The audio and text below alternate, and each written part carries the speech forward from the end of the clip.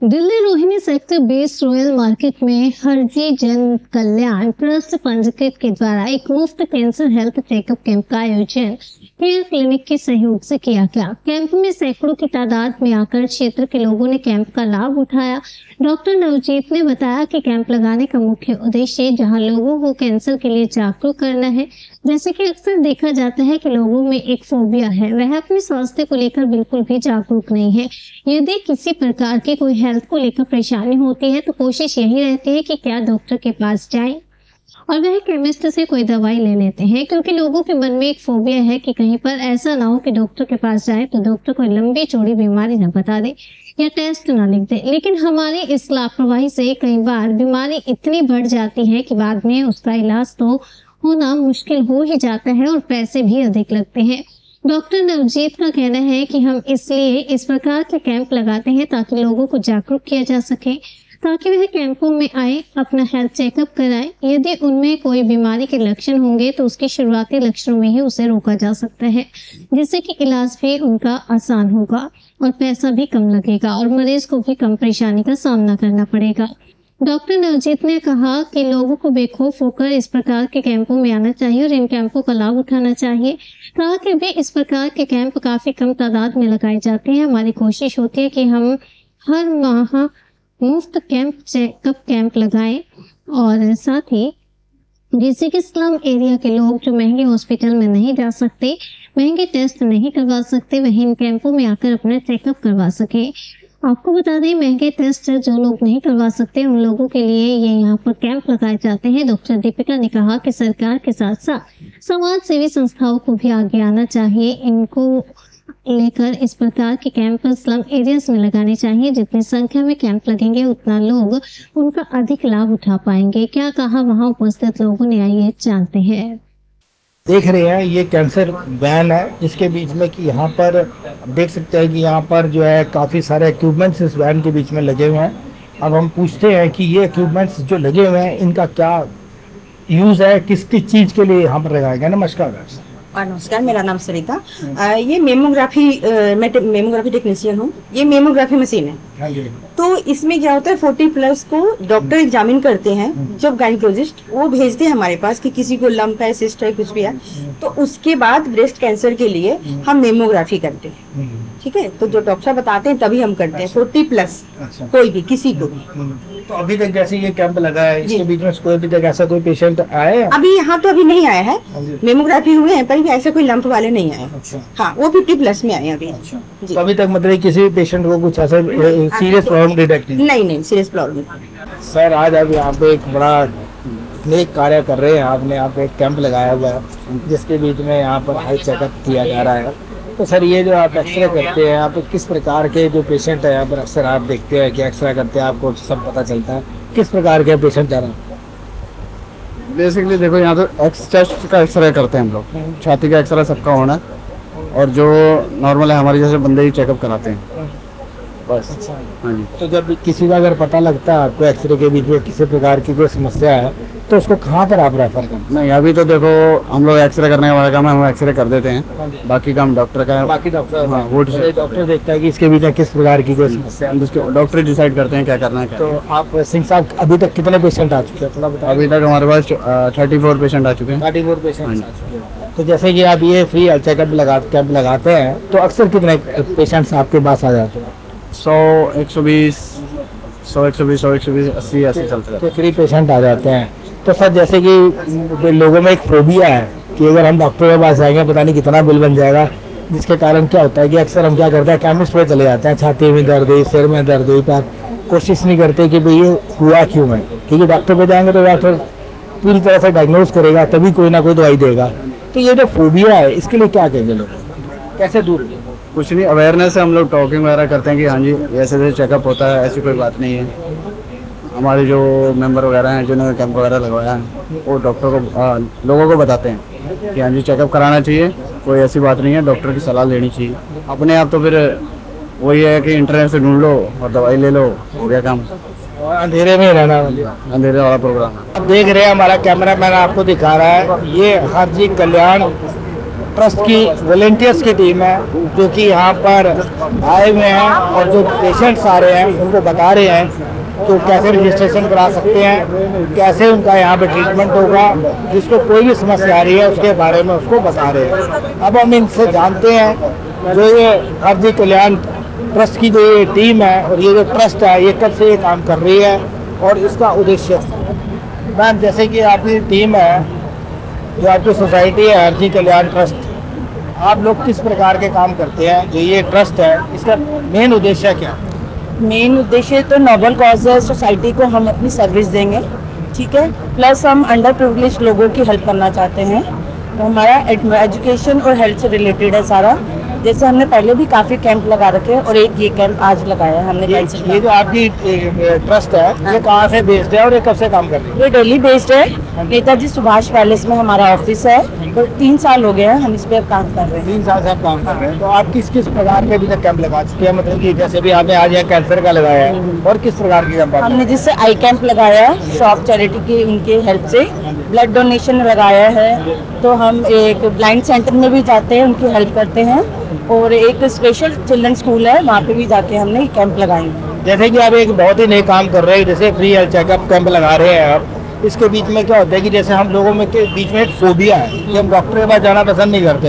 अगर सिर दर्द होता है तो हम कोशिश करते हैं कि हम इससे दवाई ले लें। जबकि ये जानने की कोशिश नहीं करते सिर दर्द है क्यों बीपी की वजह से है गैस की वजह से है या कोई और प्रॉब्लम है जिसकी वजह से है। बस एक जो केमिस्ट ने टैबलेट दे दी खा ली। अपनी मतलब की जान तक से खेल जाते हैं हम लोग। हाँ लेकिन हम डॉक्टर के पास जाना पसंद नहीं करते सोचते नहीं डॉक्टर कितना बड़ा बिल बना देगा लेकिन जैसे कि आपकी ये ट्रस्ट ये फ्री हेल्थ चेकअप कैंप लगा रही है तो इससे जो है लोगों के बीच में से क्या ये जो डर है ये निकलेगा? एक्चुअली अभी तक तो जहाँ भी हमने कैंप लगाया हमें बहुत अच्छा रिस्पांस मिला है। लोग आए हैं बढ़ चढ़ के हिस्सा लिया है और सबने कोऑपरेट किया ऐसा नहीं है कि कोई आया है या डर रहा है। अभी तक हमारे सामने तो हमने ये प्रॉब्लम नहीं फेस करी। नहीं जैसे हम भी और आप भी लोग भी है ना तो हमें भी तो तकलीफ़ होती है। समझ रही हूँ हाँ जी समझ रहे हैं। तो कैसे अवेयर किया जाए लोगों को कि लोग जो है डॉक्टरों तक जाना शुरू करें? जैसे मेरे को डेंटल की प्रॉब्लम है तो मैं सोचूँगा कि चलो यार एक टैबलेट ले लेता हूँ। या ये नहीं देखूँगा कि हो सकता है मेरे को माइक्रो कैंसर ही हो जाए प्रॉब्लम हो। जाए। हाँ बहुत लोगों में होता ही डर है लेकिन ज़रूर जाना चाहिए जिससे वो अवेयर हो तभी तो बीमारी का पता चलेगा ना। अगर मैं कहूँ मैं दवाई ले लूँ और मेरी बीमारी बढ़ती रहेगी मैं डॉक्टर के पास नहीं जाऊँ तो डॉक्टर के पास ज़रूर जाना चाहिए चेकअप कराना चाहिए। मतलब ये गिफ्ट अपने आप को देना चाहिए आफ्टर सिक्स मंथ में हमें मेडिकल चेकअप कराना ही चाहिए। हाँ जैसे एक हमारा बर्थडे गिफ्ट हो गया बर्थडे की जगह हम केक काटने के बजाय हम डॉक्टर के पास चले गए। हाँ वहाँ हम चेकअप करा लें हमारे लिए वो बेनिफिट होगा। जैसे कि आप सब बड़े युवा है और आप लोग बड़ी एक अच्छा मतलब कि सोशल कॉज कर रहे हैं। लेकिन जैसे जो हमारी जो पीढ़ी आ रही है जो युवा है वो आपने देखा कि वो लोग जो है इन चीज़ों से बड़ा पीछे हट रहे हैं। चाहे हमारे यहाँ धार्मिक कार्यक्रम कह लो उसके बीच में भी युवा जो है ज़्यादा पार्टिसिपेट नहीं करते हैं। और जैसे ये कैंप लगते हैं उसके बीच में भी हम देखते हैं कि वो दूरी बना के रखते हैं। मतलब कि जो आजकल मोबाइल आ गया ना लोग उसके ऊपर ज़्यादा बच्चे जुड़े हुए हैं। तो आप जो हमारी युवा पीढ़ी है उसको क्या संदेश देना चाहेंगे? इसी के लिए सिंस आपने कहा कि मोबाइल यूज़ करते हैं हम मोबाइल के थ्रू भी हम आपका फेसबुक इंस्टाग्राम लिंक्डइन हम उससे पूरा कनेक्टेड रहते हैं ताकि हम आज के यूथ को कनेक्ट कर सके। और हम सिर्फ़ हेल्थ कैंप के साथ साथ एजुकेशन भी दिलाते हैं कि क्यों ज़रूरी है। हम इस पर भी एजुकेट करते हैं। इस इसी ऐसे ही हम युवा पीढ़ी को भी चाहे युवा हो चाहे बच्चे हो चाहे बड़े हो उनको जोड़ के रखते हैं। तो जैसे अगर हमारा युवा जो जब आगे आएगा तभी जैसे हम किसी भी फ़ील्ड की बात करें, तभी हम मतलब कि आगे ग्रो भी कर सकते हैं, ताकि तभी आगे बढ़ेंगे, नहीं तो बढ़ नहीं पाएँगे। तो जैसे कि अब मैंने डॉक्टर से भी क्वेश्चन किया था कि भाई जैसे कुछ समस्या आती है कि भाई लोग डॉक्टर के पास जाना पसंद नहीं करते, अपनी बीमारी को लेकर बिल्कुल भी हम मतलब कि बिल्कुल भी वो लेथार्जिक है कि हम चाहते नहीं हम डॉक्टर पे जाए बिल्कुल ही केयरलेस है, कह लो कि हम भी चाहते हैं कि हम डॉक्टर जैसे कैंसर है, एक बहुत बड़ी बीमारी है।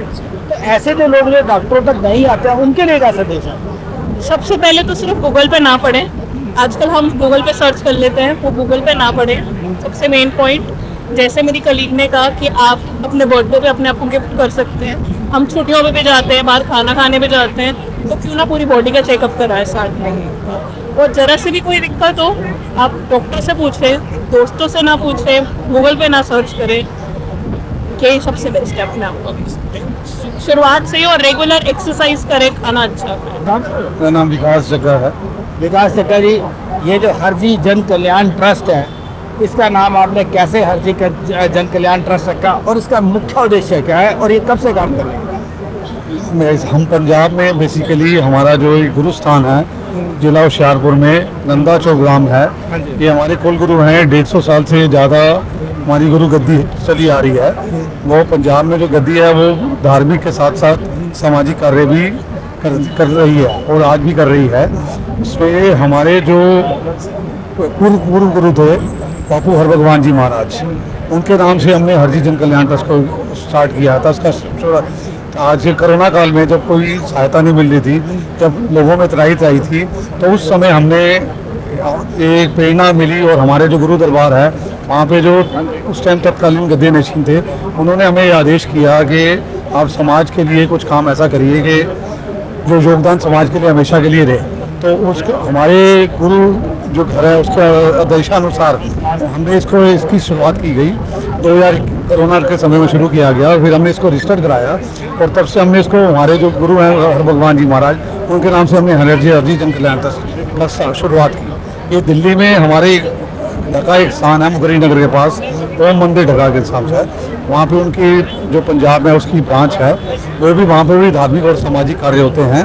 तो ये उसी की बेसिकली समझे एक शाखा है जो हरजी जन कल्याण ट्रस्ट है, उसके साथ शुरू किया गया है। और तो इसका रजिस्ट्रेशन करा के नेताजी सुभाष पैलेस में हमने एक ऑफ़िस खोला हुआ है। समय समय पर हम एक आम लोगों के उत्थान के लिए जो सामाजिक और धार्मिक और शिक्षा के सारे काम करते हैं।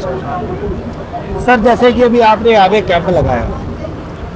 यहाँ पे हम देख रहे हैं कि सैकड़ों की तादाद के बीच में लोग आ रहे हैं और इसका लाभ उठा रहे हैं। तो इस प्रकार के जो कैंप है, आप और कहाँ कहाँ लगाते हैं? अभी हमने पिछले तीन साल में, अभी पिछले दिनों में किराड़ी में एक शराब आई क्लिनिक के थ्रू आई कैंप स्टार्ट किया।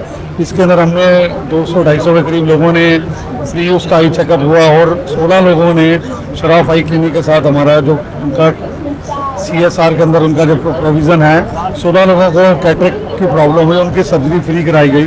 उनको घर से ले जाके, ले आ गया। ऐसे ही हमने कैंप समय समय पर कैंप स्टार्ट किए हैं, जो कुछ बात आई है। और अभी हमें पीछे ढका में हमारे ओम मंदिर ढका में ब्लड डोनेशन कैंप स्टार्ट में लगाए गए डेंटल कैंप लगाए गए।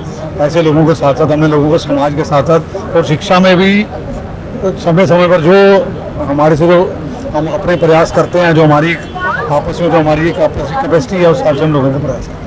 सर क्या कहना चाहेंगे? जैसे कि हमारी युवा पीढ़ी है, वो कैसे मतलब कि जैसे ही आपने कैंप लगाया हेल्थ कैंप लगाया या कोई हमारा अगर रिलीजियस कार्यक्रम होता है तो हमने देखा कि जो हमारा युवा है, वो आगे नहीं आता उनमें कैसे I think over a period of time lot of awareness been created the volunteers are coming their own and trying to help the society one of the other way and we have seen in the past over the last three year large number of volunteer have opted uh, to get associated with our Haji Jan Kalyan Trust, which was set up around three years before. And uh, in the last three years, we have organized at least uh, more than 15, 20 camps, which includes the healthcare camp, eye checkup, dental care, blood donation camp, and uh, today is the uh, cancer screening camp.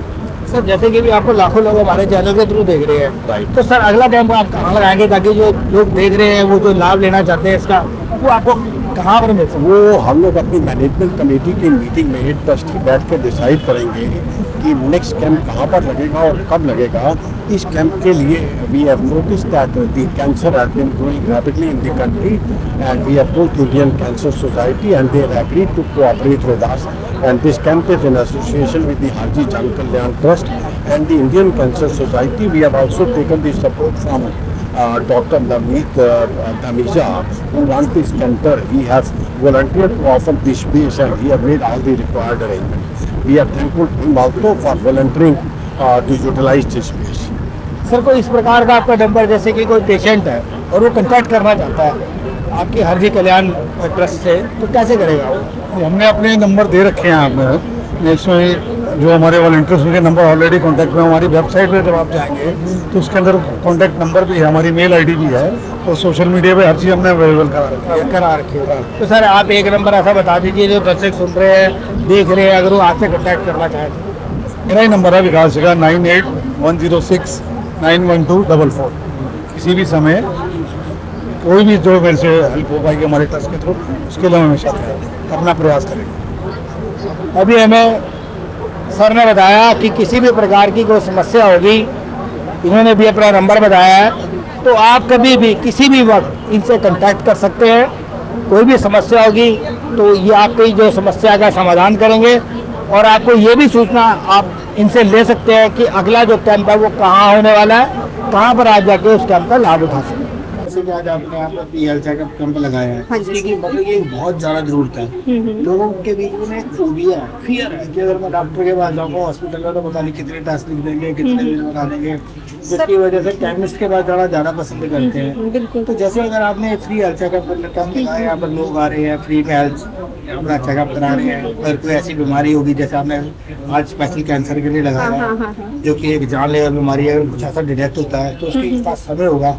और बड़े सस्ते में भी इलाज हो जाएगा क्योंकि जब बीमारी ज़्यादा बढ़ जाएगी तो आप हमसे ज़्यादा जानते हैं तो उसमें ज़्यादा खर्चा क्या संदेश देना सर ये कैंप इसीलिए ही लगाया है हमने ये एक तरह से बचाव के लिए ही कैंप है ताकि ये बीमारी लोगों को डिटेक्ट ही तब होती है जब ये बहुत ज़्यादा फैल जाती है। ना फैले बीमारी इसकी रोकथाम के लिए ही जांचें इसको हम कैंसर का कैंप नहीं कहेंगे इसको हम कैंसर के बचाव का कैंप कहेंगे। ये एक तरह से कैंसर अवेयरनेस कैंप है।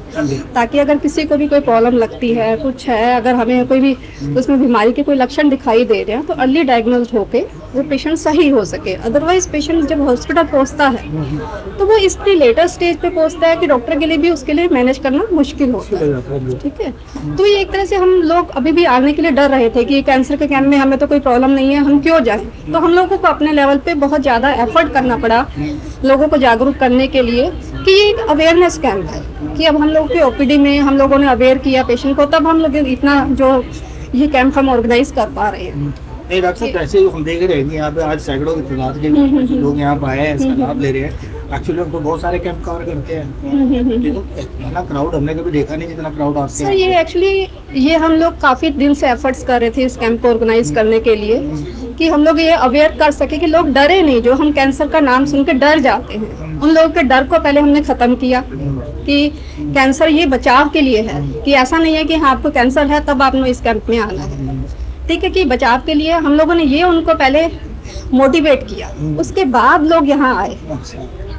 अभी जैसे अभी डॉक्टर साहब ने बताया कि ये जो यहाँ पे जितना आप क्राउड देख रहे हैं, इस क्राउड को यहाँ पे इकट्ठा करने के लिए डॉक्टर साहब ने बहुत मेहनत की, एक एक को लोगों को अवेयर किया, बताया, जो कि एक मतलब कि हम कहें तो एक बहुत ही पुण्य का काम है सोसाइटी के बीच में। जैसे कि डॉक्टर को कहा जाता है कि डॉक्टर का दूसरा नाम जो है भगवान है। वही काम आज डॉक्टर साहब ने किया यहाँ पे, कि आप देख रहे हैं कि इतने लोगों को यहाँ पे बुलाया और इनका फ्री हेल्थ चेकअप कैंप लगाया यहाँ पर और इनका फ्री चेकअप हो रहा है। अगर किसी प्रकार की भी कोई बीमारी होगी तो उसको बड़ी आसानी से भी डिटेक्ट करके उसका इलाज किया जा सकता है। यहाँ काफ़ी 2009 से चला रहे हैं। ठीक है और हमारी एक संस्था भी है सेवा सवेरा फाउंडेशन जो कि इससे केयर क्लिनिक से एसोसिएटेड है।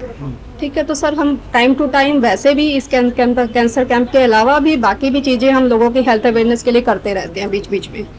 कि थायराइड के कैंप हमारे फ्री एच के कैंप फ्री शुगर के कैंप भी बीच बीच में हम लोग रन करते रहते हैं। डॉक्टर साहब जैसे कि हमारे दर्शक देख रहे हैं आपको लाखों की तादाद में तो अब ऐसा कोई और कोई कैंप ऑर्गेनाइज कर रहे हैं क्या?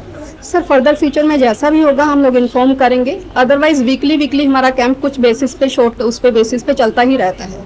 समस्याओं का समाधान जो शिक्षा से आज हम बात करेंगे आज हमारे साथ प्रोफेसर साहब हैं।